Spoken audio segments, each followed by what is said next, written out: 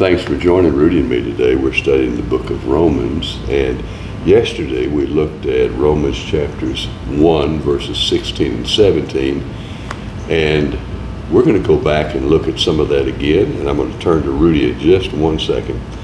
So, verse 16 says, I'm not ashamed of the gospel. It's the power of God for salvation to everyone who has faith, to the Jew first and also the Greek. For in it the righteousness of God is revealed through faith for faith, as it's written, the one who is righteous will live by faith. Rudy, you and I were talking while we were drinking our coffee about how this resonates with you, particularly that passage, the one who's righteous will live by faith. So let me turn to you. Well, as I listened back to yesterday's video and the line in the sand uh, argument that I had that even though we don't know this about God, we still have to cross it. And that basically is the beginning of understanding what faith is, mm-hmm. is doing something that God has said, even though it doesn't seem as though it could happen. Right. So I believe when Paul is writing this letter, because he quotes Habakkuk, we should really we should look at Habakkuk because Habakkuk is an incredible example for us today. Mm-hmm. And in Habakkuk, uh, Habakkuk has a couple of complaints that he places before the Lord. And in, in, if you just, Habakkuk is a short prophet, it's only three chapters long. I had a string in it, there it is. And one of the complaints the first complaint is, How long, from Habakkuk 1 2, O Lord, how long shall I cry for help and you do not hear? Uh, or cry, There is violence against me. This is Rudy Ross's translation. Right. And I'm not being saved. God answers him after a few more sentences uh, look among the nations and see one and wonder and be astounded, for I'm doing a work in your day that you will not believe if I told. Now, the day that Habakkuk is writing this is about 20 years uh, before the Babylonian uh, exile, and it's about 80 years after the Assyrian exile. So his complaint is and what God is telling him to look for is that nobody would have imagined Assyria ever falling because it was such a great empire. But God tells Habakkuk that the Chaldeans, which is ultimately the Babylonians, are going to, to do that. And it's, it's maybe like maybe a country like Romania taking over the United States. It's that size of a of a jump. Mm-hmm. And uh, God goes on to tell Habakkuk how formidable their army will be. Mm-hmm. And then Habakkuk's got another complaint. Are you not from everlasting telling God, you're from everlasting? Mm-hmm. Why, basically, why am I suffering? And we could say the same thing today. Why are we suffering? Why are these wars happening around the world? Mm-hmm. Uh, and the O Lord, you have ordained them as judgment, and, o, and you, O rock, have established them for reproof.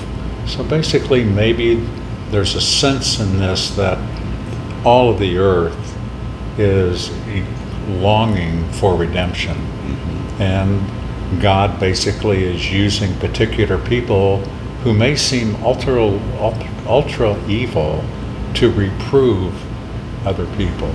Mm-hmm. And I think the same thing is going on today. And, and it's because God has said this was going to happen that we have to look, not look forward to it, but, it, but not looking forward to it emotionally, but look forward to it occurring because He said it was going to. Uh, and He said, and this is a interesting part of, of what Habakkuk is saying, and I believe what Paul is trying to get us to understand. Habakkuk says, You who are pure of eyes, then to see evil. And this, this has led to some ideologies saying that God can't look at evil. And I really believe that everybody is, is being willful against God most of the time. And the thing is, what he is, he's not looking at, at what you're willfully doing. He's looking at the beauty of his creation that is in you that hasn't been changed yet. Mm-hmm. Okay, so it's not him not looking on evil, he's just looking past it.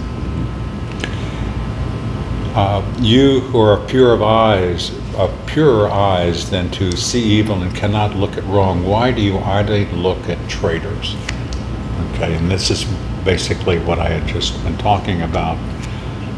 And then, then Habakkuk finally says, I will stand, take my stand at my post, and station myself on the tower and look out to see what he will do, what he will say to me. So basically,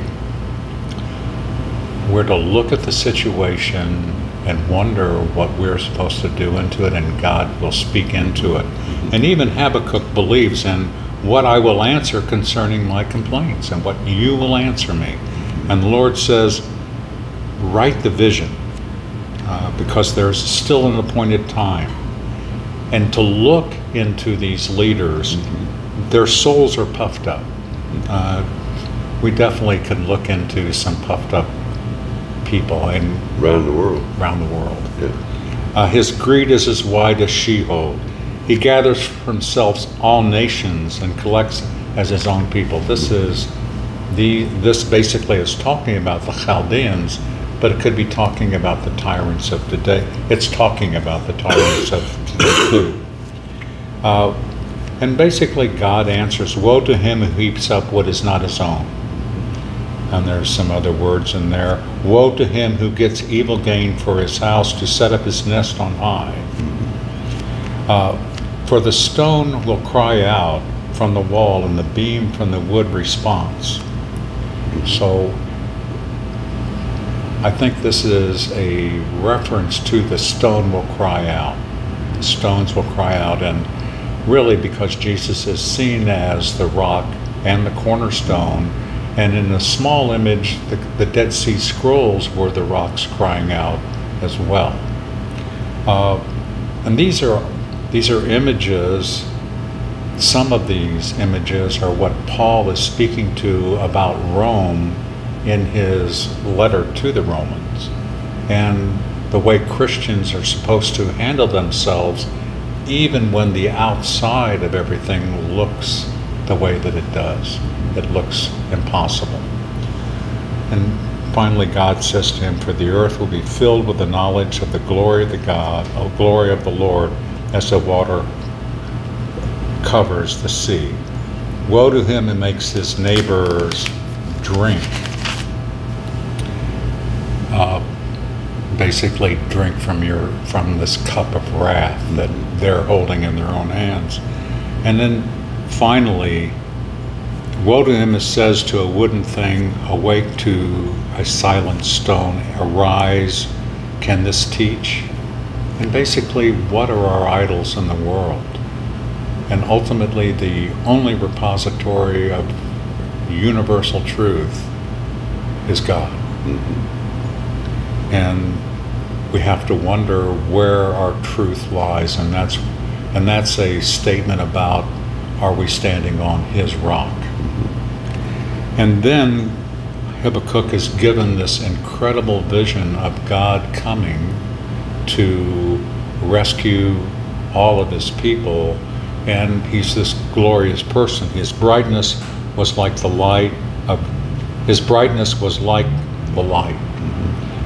Rays flashed from his hands. And we've talked about the only stars in heaven being the holes in his hand. And I believe that the light flashing from his hands is from the risen Savior from his face going through the holes. And then it goes on, but it also talks about the Lord having these arrows. And that's a, that's a reference back to Isaiah 49. And I realize that I'm jumping all over, but I, I don't know that there's another way to understand Paul without understanding the basis for what he says because if you were to look at a concordance and read Paul, and read all the places that Paul is quoting mm-hmm. from, it'd take you a long time to get through a chapter. Right.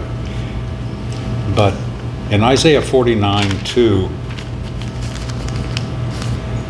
listen to me, O coastlines, and give attention, you people from afar away.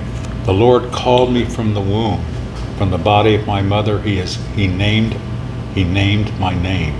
He made my mouth like a sharp sword. In the shadow of His hand, He hid me.